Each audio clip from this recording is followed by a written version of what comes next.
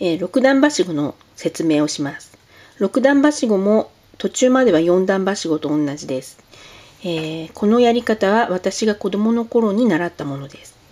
えー、互いの糸を中指で取り合う基本形ですね。親指を外します。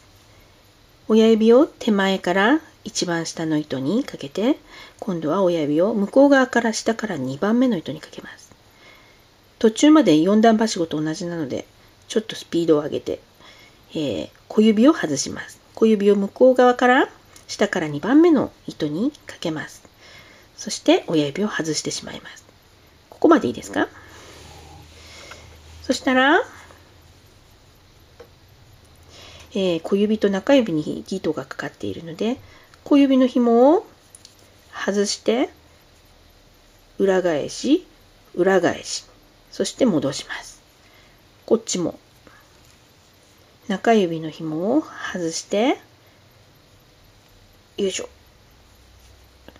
裏返し、裏返し。そして戻します。裏返し、裏返しを2度やるので、要するに1回転するってことですね。そして、こっちも。えー、外すとめんどくさいという人は、えー、外さなくても、よっこいしょ。外さなくてもいいんですけど、例えばこうして紐をよくと持っていて、中指を小指方向にえいと1回転。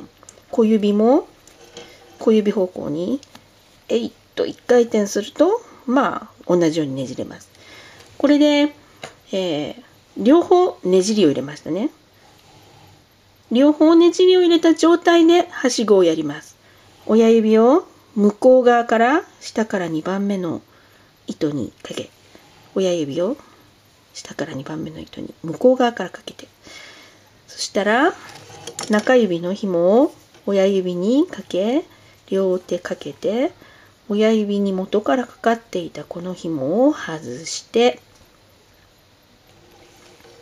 そうするとここに三角のスペースができるので中指を入れて小指を外しながらえいってやるとこれで6段です。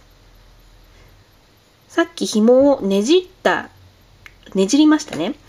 あれを片手しかやらないと5段、両手でやると6段になります。